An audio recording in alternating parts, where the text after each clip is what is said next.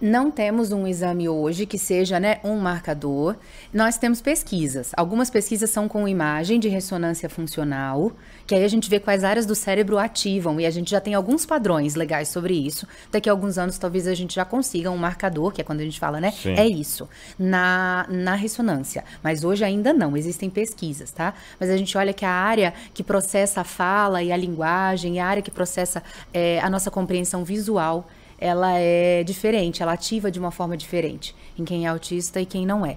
é. E outra também que é muito interessante, que chama eye tracking, que é quando eu vou pegar uma pista do meu olhar e eu consigo hoje, é muito simples, é um, um aparelho que joga um, uma luz no olho e ela consegue ver que parte da imagem você está olhando. E aí você mapeia nessa imagem o que você olhou primeiro.